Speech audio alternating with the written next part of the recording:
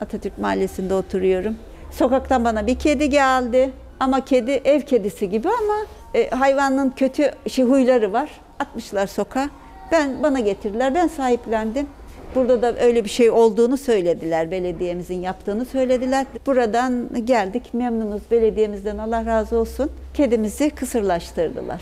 Benim kızım Zonguldak'ta oturuyor. Ta Zonguldak'tan burayı halletti. Ben beceremediğim için onunla iletişime geçtiler. Sağ olsun becerdiler. Burada kabul etti. Onun için yani memnunuz. Allah razı olsun belediyemizden. Bir gün içinde sabahleyin gönderdik. Şimdi almaya geldik saat iki, iki buçuk, üç gibi. işte alıyoruz.